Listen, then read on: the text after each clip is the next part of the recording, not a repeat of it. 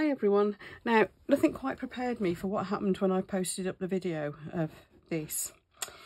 It is the raindrop technique, which I decided to do bigger raindrops and put fish in, and everybody just went crazy for it.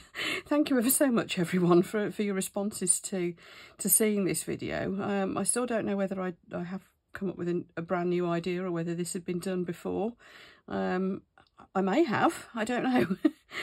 but I know the raindrop technique itself has been going viral for a while. Um, it was Tea and Art that brought the technique to my attention and I wanted to try a couple more things. Now, uh, another crafter from Loose Screws Crafts. Loose Screws, please could you tell me what your name is so I can I can refer to you properly rather than just by the business name. But Loose Screws Crafts came up with the idea of maybe footprints. And they said, know, go ahead and, and use that idea if you want. So I'm going to have a go, but I'm really hoping that Loose Screws will do a video, seeing as it was it was their idea as well. So I can take no credit whatsoever for this idea, but footprints using the raindrop technique. So that's one I'm going to try, and I shall be doing it in these in these coaster moulds. I'll probably do two, so we've got a matching pair. The other thing I wanted to try was taking the raindrop technique to the extreme. So as you can see how I've done these bubbles here, they're bigger, they're deeper. Yeah, that, that was a kind of newish idea, I think, in itself. I wanted to see how far we could push that. And uh, yeah, so I'm going to layer it. And that's why I've got a deeper mould here. So if I can just introduce you to the things that I've got to hand to do today's little projects. First of all, I have obviously got the moulds, which you have seen. I have got a high viscosity resin. This dome's deeper because it is higher viscosity. So I've got that one from J Diction. And I've also got, just because I found it sticks to the moulds uh, and stays in place better when you're doing bigger pieces, some soft resin.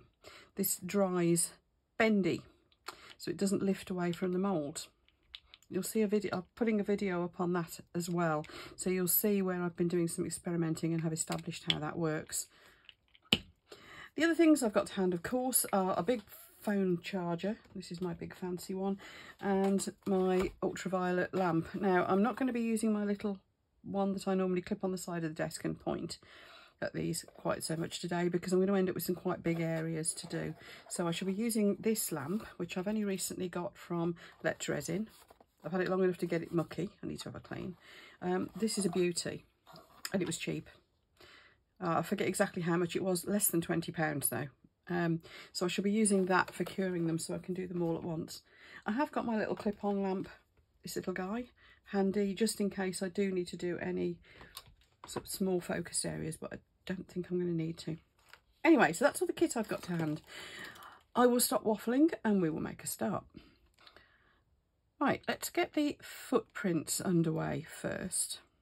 I'm going to use this high viscosity and soft resin. This is the one that I said I found sticks better. Now, the only drawback with it is it's really hard to get out of the bottle. So I'm going to end up really having to get both my hands in and squeeze it. So I'm sorry if I if I do lose you from view some at some point.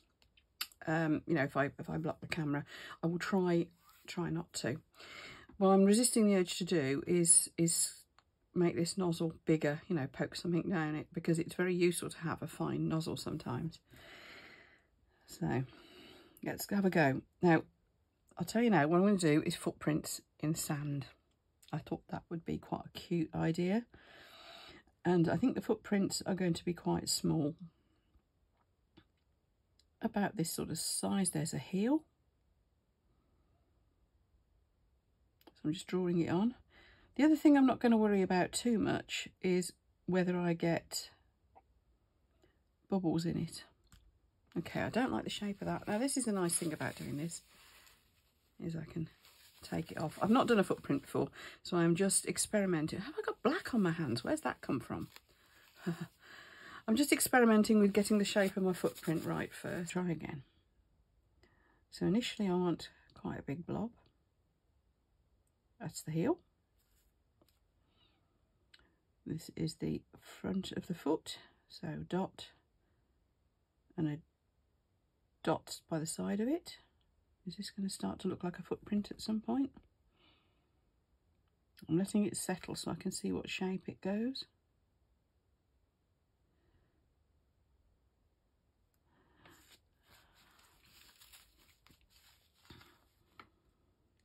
Been on holiday recently, I really should have paid more attention to the shape of my footprints. Right, big toe, smaller toe, smaller toe. toes are difficult on this scale. I think that's the first thing to report.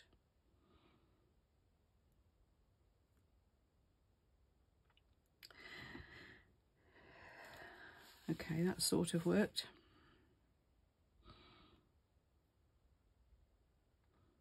I think I'm going to let the toes blur into each other. The other coaster, I think I might do a one big footprint. Should we try that?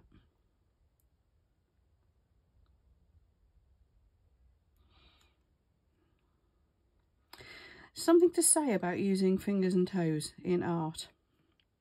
If you watch a cartoon, you know, whether it's The Simpsons or a Disney or whatever, you'll find that very often cartoon creatures and people don't have enough toes and fingers if you look closely.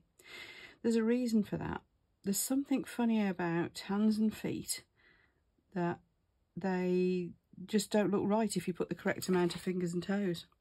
So very often cartoon characters will be one finger short.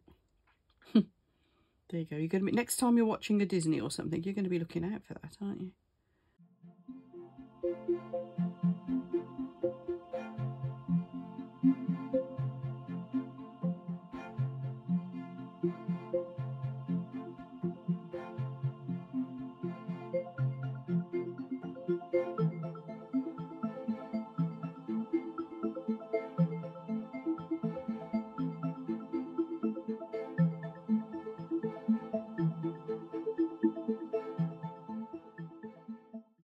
So yes, with this one, I'm going to start. This is another experiment, actually, in a way, um, not just because of the, the te actual technique of layering this.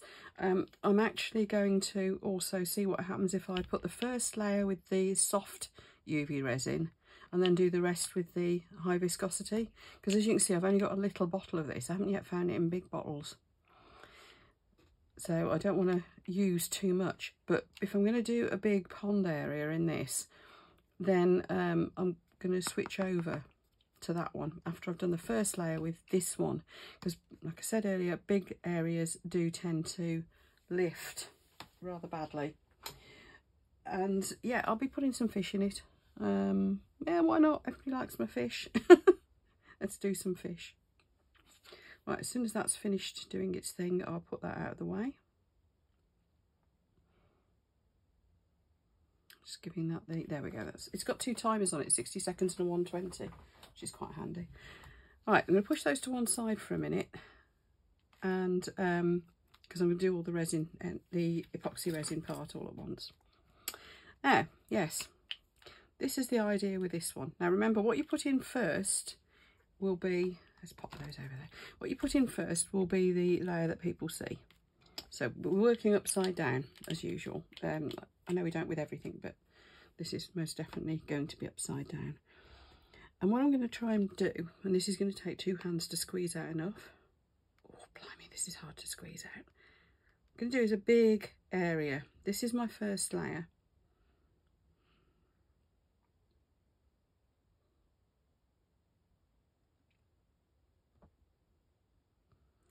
Just trying to create a I'm trying to create what will be effectively a good seal for the rest of the, the resin down onto the silicon of the mould. So I am needing quite a lot here. Although I don't particularly need it to be thick. Deep, thick, whatever the word would be for this. So as you can see there, I've got quite a, a good size patch. And I'm going to spread that around with my silicon brush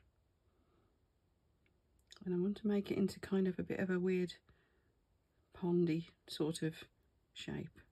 Pondy? Is that a word? It is now. I like inventing words.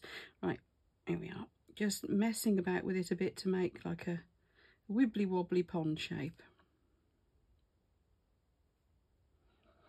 Now this is, being the first layer, is going to be the biggest surface area layer as well.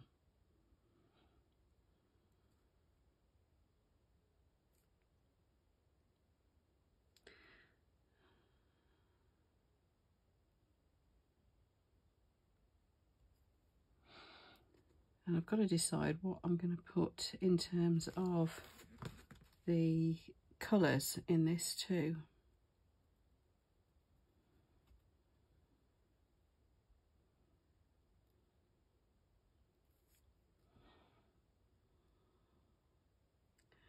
I don't suppose it needs to be a, a, pond. It doesn't need to have fish in it. Um, but, you know, use your imagination. I'm sure there's a, a load of things. Maybe, I'm thinking maybe uh, it could look like the inside of an egg. You could put a baby bird in it, a baby dragon in it.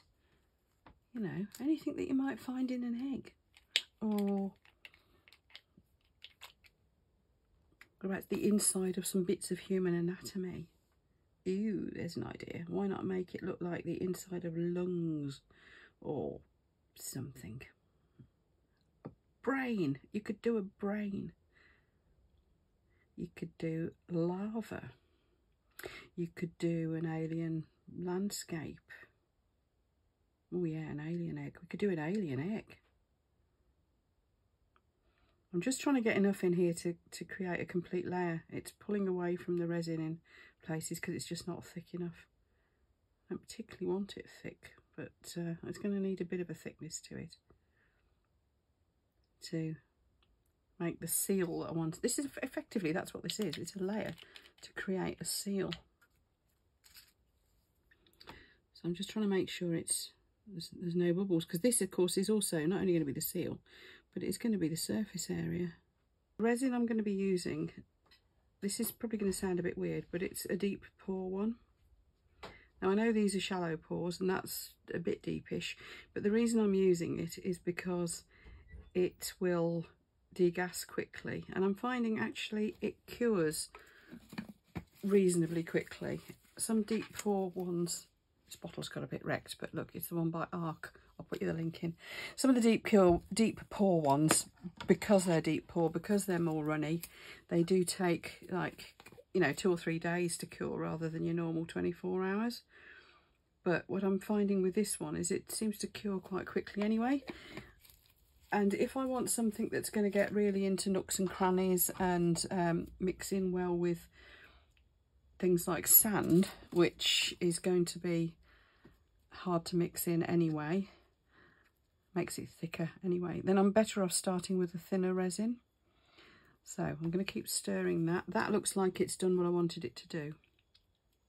That's good. See, it's gone reasonably flat as you can see, because it's runnier, even if I stir it quite quickly, I'm not really getting a bubble thing going on.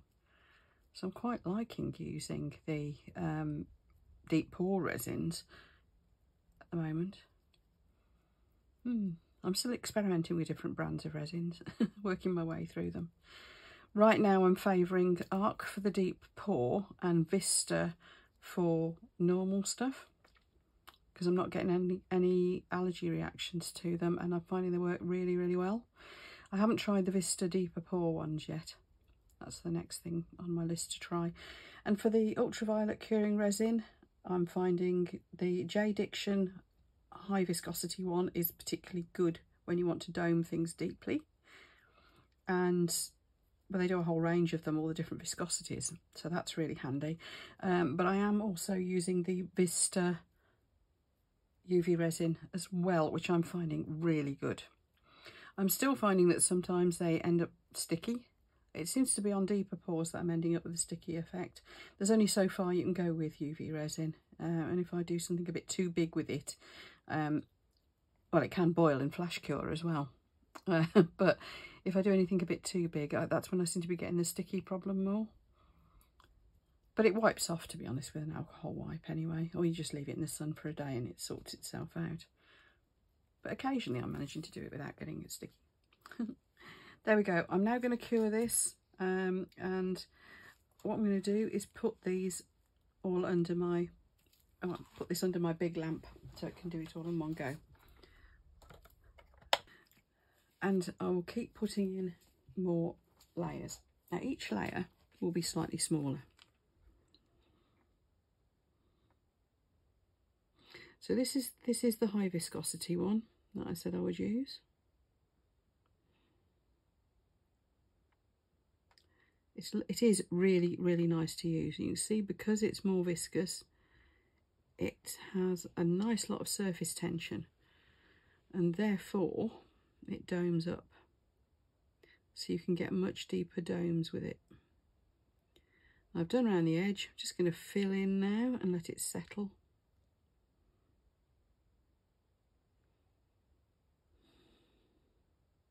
What I don't want to happen is for it to spread over the sides of the soft resin that I put in first because that'll that'll defeat the whole object of me doing this um, that layer to seal it first.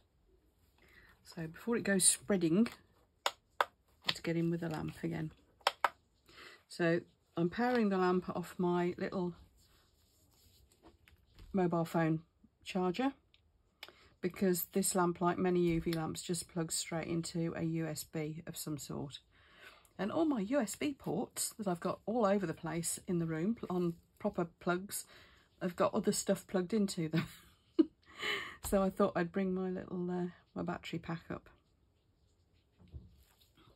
Okay, that's probably enough. I said it doesn't need to have cured completely. But what you see, can you, can you see there that you've got like layers building up. Actually, let me zoom you in some. That might be a good thing, mightn't it? I'll move it more into shot as well. I didn't, sorry, I didn't realise it had gone out of shot a bit there. There. So, can you see we're getting layers? Um, now, if you've looked at preformed plastic garden ponds, you'll see that they, they're shaped. Some of them you can get like complete square, complete round, whatever. But a lot of the ones that make an attempt at looking more natural, they have like a, a shaped effect to them. Um, but you might get areas where there's it's quite shallow and that's because it's like a shelf to put your marginal plants on. So this is the sort of effect I'm going for here. So each layer is going to be a bit smaller than the previous one.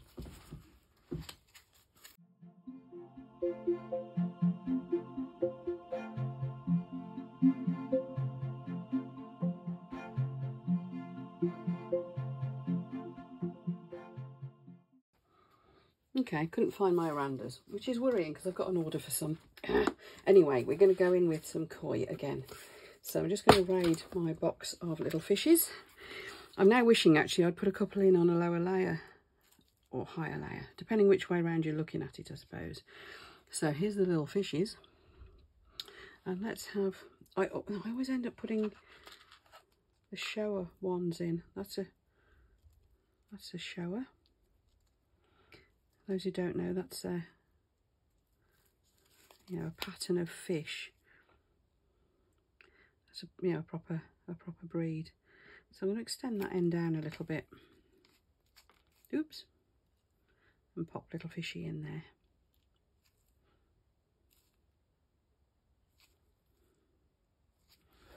Give that a quick blast with a lamp to fix him in place.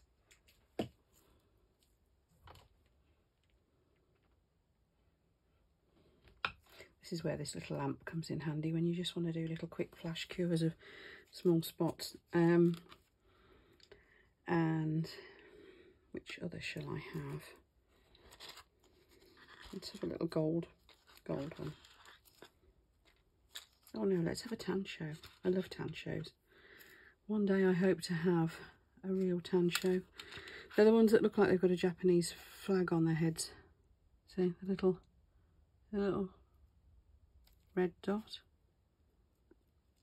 Let's just leave it at the two because I don't want to overcrowd this.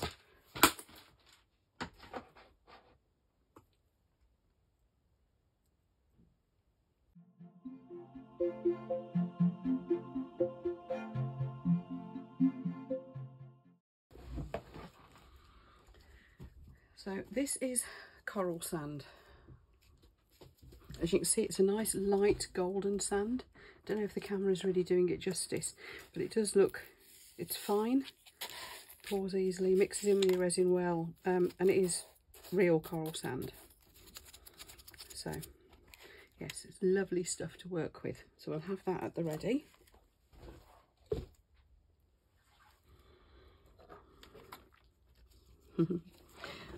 yeah, that's kind of spoilt the regular effect I was trying to get, but it might create a new effect all of its own.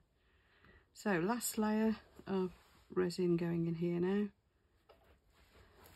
And this is now deciding it's going to spread all over the place, so I'm going to get in there quick with the lamp.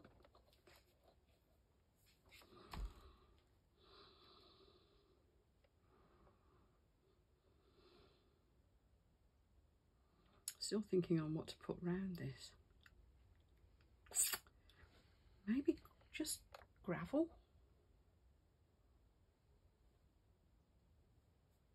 Gravel. That's a thought, isn't it?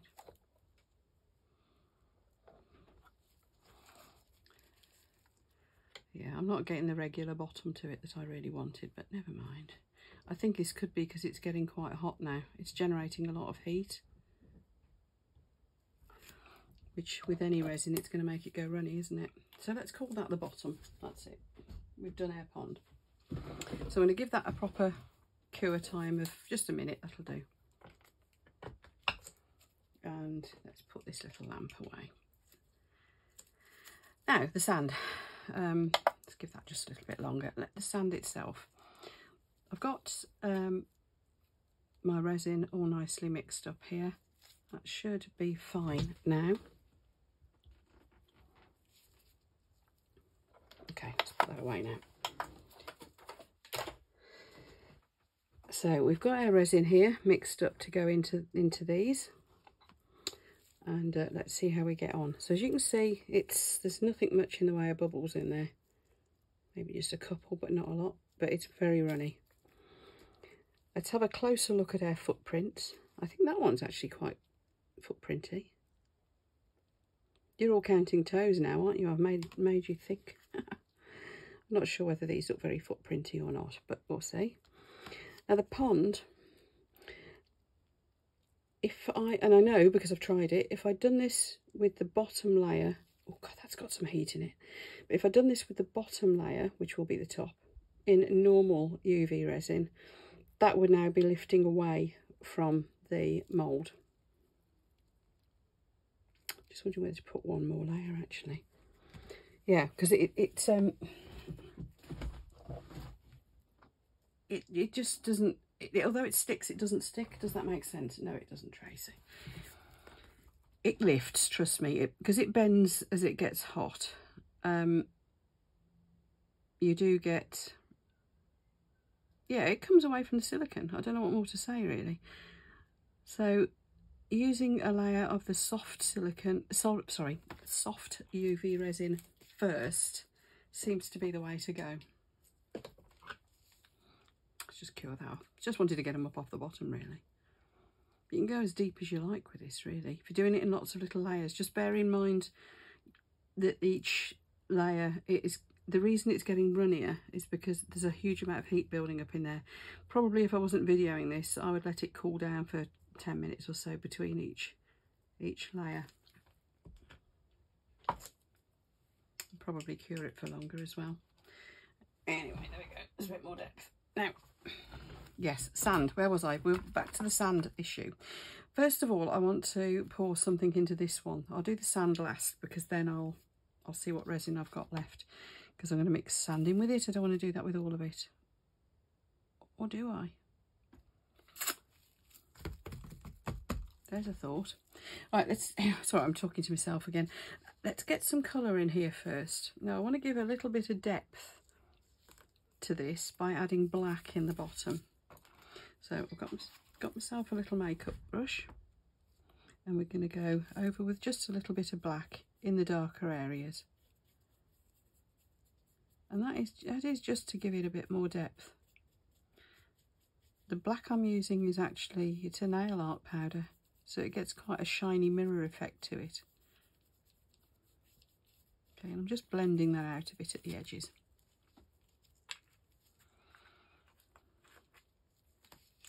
And then let's try, let's stick with the nail art stuff actually, shall we? Oh, that's a bit too purple.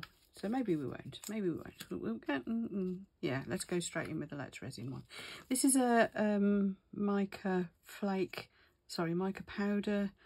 It's iridescent. It colour flips a bit, a lot actually, depending on what you use it for. So I'm hoping this will create like a, a colour flippy effect. It's going to be too blue for a real pond, of course. And what you could do is put plants in. You could put your fish in further down. You could put all sorts in it. If you take your time more when you're building up these layers.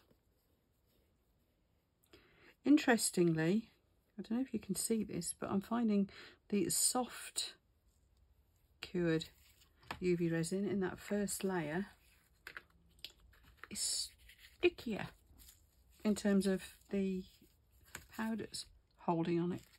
Interesting point. Well, I think it is. It doesn't take a lot to impress me, really. Now, I've got the powder where I didn't want it, so I'm just going to going to go around with a micro brush, which I might get some alcohol. No, actually, it's big enough to get a wipe in there, isn't it? So let's go around with a wipe. Okay, anyway, stop waffling. I'm going to fill this up with gravel. I'm going gravel, I think.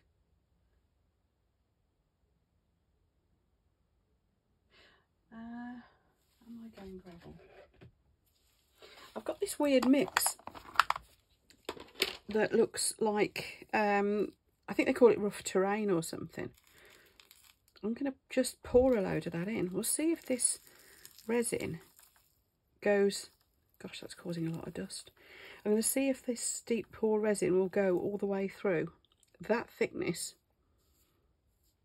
Because obviously I need to cover the pond. It's still sticking up. So will the resin absorb through that thickness? Should do it in layers really, shouldn't I? Hmm. Yeah, this is from one of those firms that does all the stuff for wargaming and uh, rather than just model railway, but I find it rather uh, that useful actually. And let's pour the resin in. I should probably end up backing it with black or something anyway, but I don't know, will I need to? I'm just intrigued to see how much this, let's make those bits sink, how much that's going to sink down through. Oh, bubbles. Look at the bubbles coming out. That's fun. Can you see the bubbles? bubbles. I'm going to make this right up to the top, I think, because it, as it sinks down through, I just hope it goes all the way through and absorbs properly. We'll see. Anyway, over to these little guys. We'll leave that popping and bubbling over there. I'll leave it slightly in shot so you can watch if you want. There, let's have these two. Zoom back out a bit. There we are. Now clearly I haven't got enough resin mixed up to do both of these, but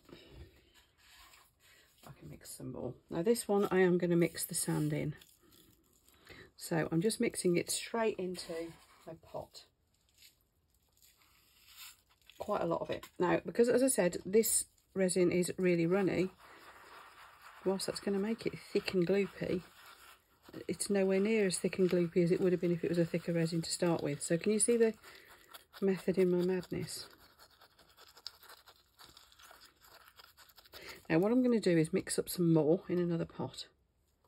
This pot is clean. It doesn't look it, I know, it's just stained.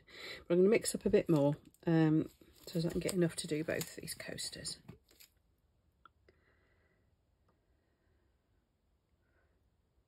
I'm loving watching the bubbles pop in that one.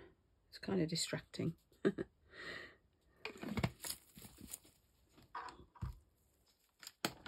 I'm just wondering whether to put a tiny little spot of sparkle in this too.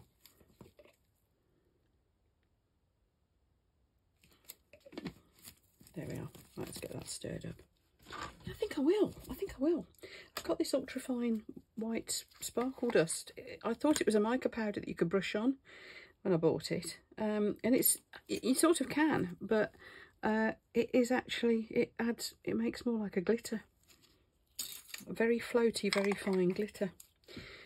Um, rather than making it opaque.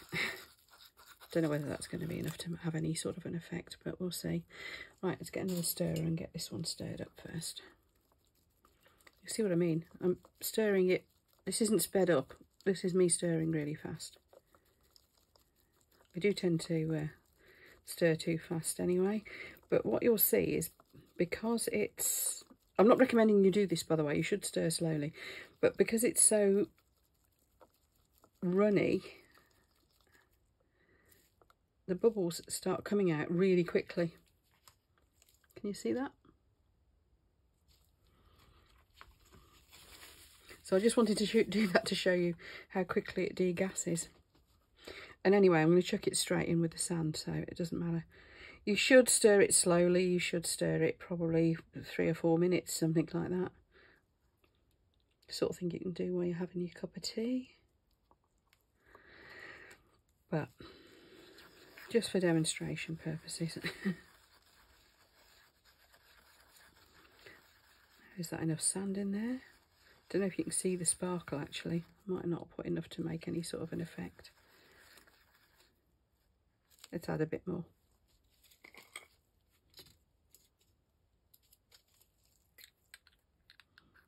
Okay, let's add quite a bit more. Whew, sparkle going everywhere. I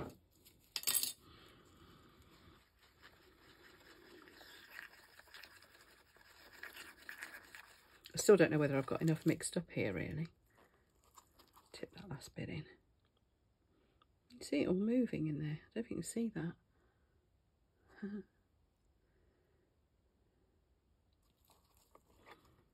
this is still bubbling away over here.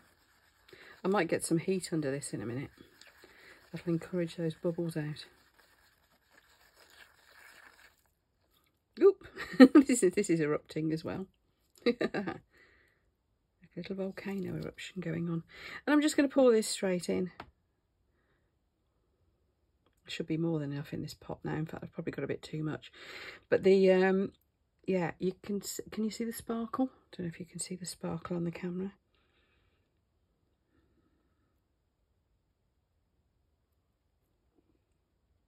Oh, no, I haven't mixed up too much. In fact, I think that's going to be about right. That was a good guess, wasn't it?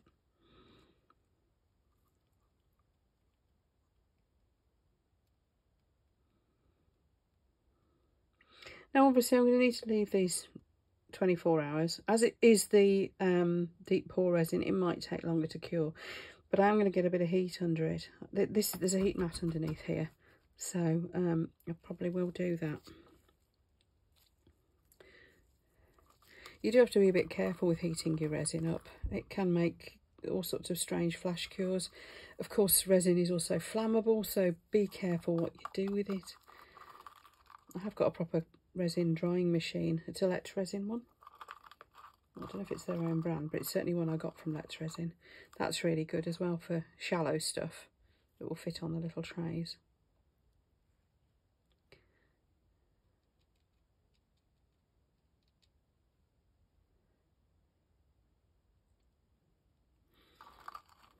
Oh, that's interesting. The glitter's sorting itself out around the edges, look. yeah, I probably could have got away with a bit more in here, but in terms of the resin. But I can always put like a, clear back or something on it. Another, you know, I can put another layer in afterwards if I want. And there was me thinking I'd mixed up too much. Not really. Um, something to be aware of when you use sand or gravel or anything like that in resin. When you come to, uh, let's use a bit of this up. When you come to sand any sharp bits off that you've ended up with like around the edges, even if it's really fine sand, it sets really, really hard. You're going to struggle to sand it by hand. Now, gravel, obviously, it goes without saying you're going to struggle. You're not going to be able to sand that. but I was surprised when I found just how hard sand made resin set because I have used sand in things before.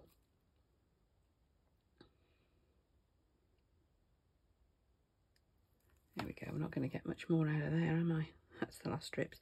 Right, I'm going to clear off and let this let this all cure up. Like I said, I will get the heat going underneath it because that'll help. And we will be back for the demold. Um, things to notice though, I'm going to spray the surface with alcohol. This is just isopropyl alcohol. I'll put you the link for, I use a lot of this, so I put it into this spray bottle, but I buy big bottles of it. I'll put you the link for it below in the description. But it just helps to dissipate bubbles off the surface. You can use a, a heat gun and a torch, that sort of thing, but I do find that there's a danger with that in that it's, uh, you, one, you can damage your mould, and two, you can set fire to things. I'm just going around the edges of this because I didn't want, I want to make sure I haven't got any bubbles. Wherever you get right angled corners and things, you seem to get bubbles sit. But I'm noticing that there's not as many bubbles coming up in it now.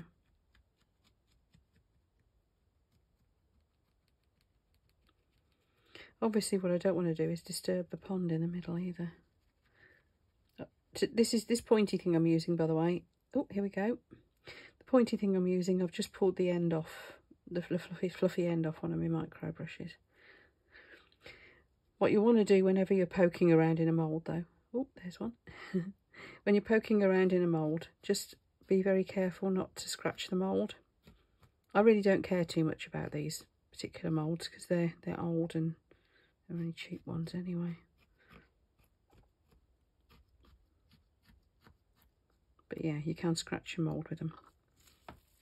So, last little spray with the alcohol. I'm going to lift this out. There's a chunk. Oops. Just going to carefully lift that out. Come here, you little perisher. There you are. There we go. One last little spray and then um, I'm going to let it sit for half an hour or so to let any more bubbles come up out of this one and then I'll put the heat under it. See you for the demold.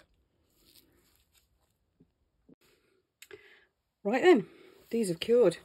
So as these were the ones that one of my subscribers, it was uh, Loose Screws, um, had challenged me to. Let's demold these first. Actually, I'll tell you a secret. I've already demolded the other thing It's ready to show you. I just hope this has worked.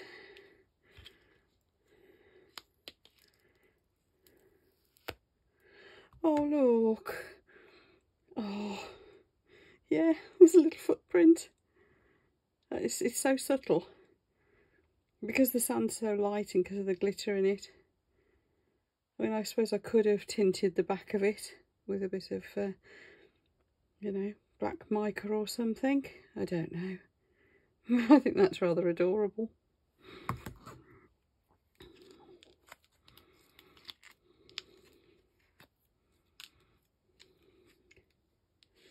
Here we go. These are quite thin. I probably, if I'm going to use them as coasters, I will put a flood layer on the back as well.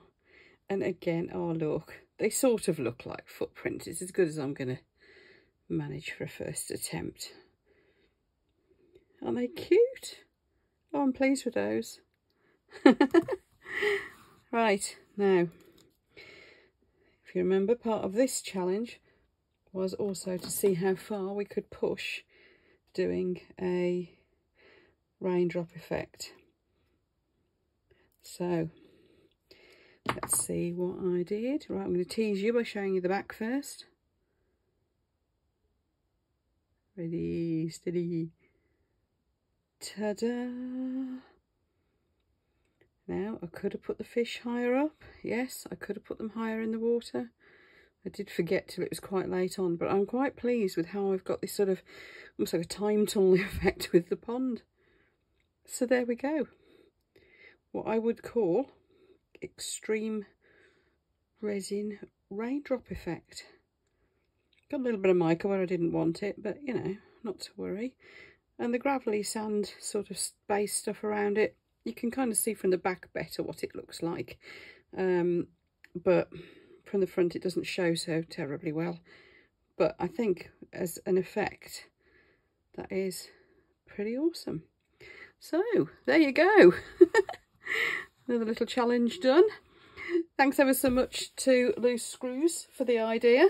And I thank you very much to all the subscribers and to all the people who've been commenting on my little fish. Uh, I, I, need to make a load of fish. They're selling out fast on my eBay shop. Um, so if you do order any, please bear with me. I need to have a really big fit of making fish. Uh, it seems, because uh, I can't make them quick enough to sell at the moment. So, uh, yeah, bear with me a little bit on that. Thank you all to my sub subscribers, as always. Anybody who'd like to subscribe, you know where the buttons are. They're down here. If you uh, would like to also chuck any more things you'd like to see me try out into the comments or into the community tab, that'd be great because, as you see, I'll, I'll have a go at most things. But, yeah, most pleased. That is quite freaky possibly worth exploring a bit further at some stage but right now I'm all out of out of raindrop um, plans because I think I might have done them to death at the moment um, although I might use them in this sort of context again in future. Thanks for watching then folks, I'll love you and leave you and I'll see you for the next video. Bye!